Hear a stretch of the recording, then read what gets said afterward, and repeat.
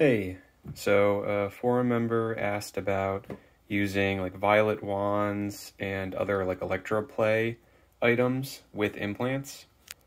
Uh, so this is this is a violet wand, uh, and this is a common attachment for it. It's like an evacuated tube, and uh, when you power it up, it's a very high voltage device. So I'll turn the light off to show you.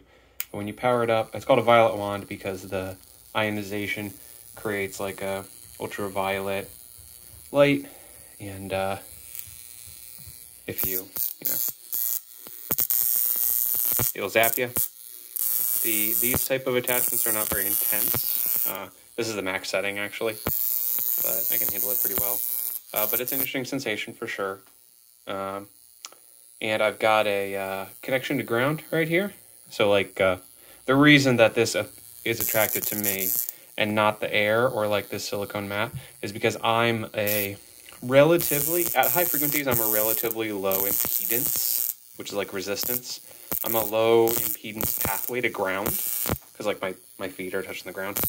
Um, so to emulate that for this test, I've got this grounding strap, and uh, it can, you know, I can create a pathway there. So uh, I've got this Apex. It works. Ooh, my fingers are a little, a little numb from that. Uh, yeah, so it reads totally fine. Let me orient it a little bit better. I don't know what I did to this poor thing. Well, it reads, regardless. Maybe my ACR 120 is freaking out. But yeah, I'm going to put it in the, um, directly in the pathway, and you'll be able to see visually that it's, uh,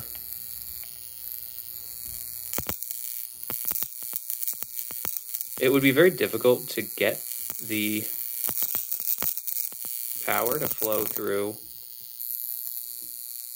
the device itself. It's actually, you can see it right here. See the purple on the edge?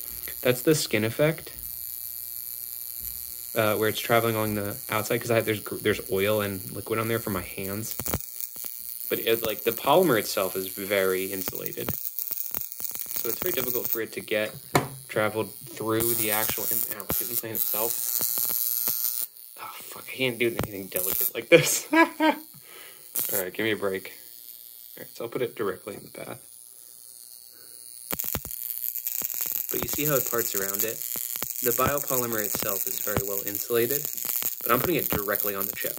So if there were ESD concerns from, you know, for the chip itself, like electrostatic discharge, uh, this would do it. You know what I mean? Like this is the final install configuration with the biopolymer, and uh, that would do it. So uh, this is actually a unit that I used for some durability testing, so it's possible either my ACU is freaking out or the unit is damaged. But you can see from the fact that it it starts to do a read that this is still functioning. It didn't get damaged. But yeah, so that's that. Uh, I have one. I have a glass one, which is even better insulator, but it's in my arm right here, my hand. You can see it like right here. Um, but yeah, so let me uh, expose that. Is it? There it is. It's kind of hard to do this on camera. Yeah, I can tell. That feels very odd in that location because the skin is so thin. It's extremely intense because the implant is there. Like if I do it in another part of my hand, I don't get the same sensation. But like, I have a lot of experience with this stuff. And like, if you get it on your implant spot, it has a different sensation. But regardless, let me get this shit out of the way. Hmm. It reads. So you're not going to be able to damage it with that. Um, I can even do, uh, here, let me turn it off. I can even do a, me grab the implant, I dropped it. Put this on the grounding. I can even do a more direct pathway. So this is through a um, vacuum chamber. So the intensity is much dramatically reduced.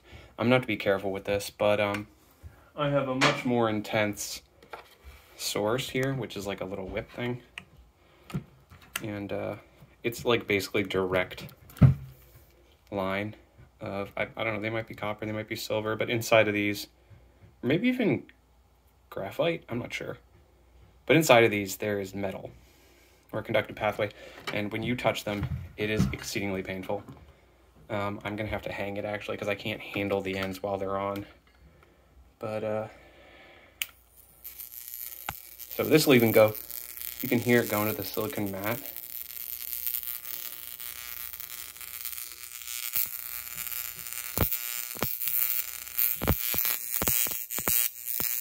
Can see there's much greater intensity. Let me turn it up a bit more. It's it's kind of dangerous, honestly. Ow, fuck.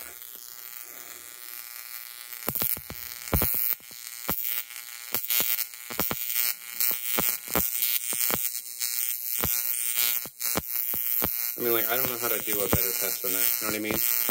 Like, that's, that's it. That's the exposure level under the worst possible conditions.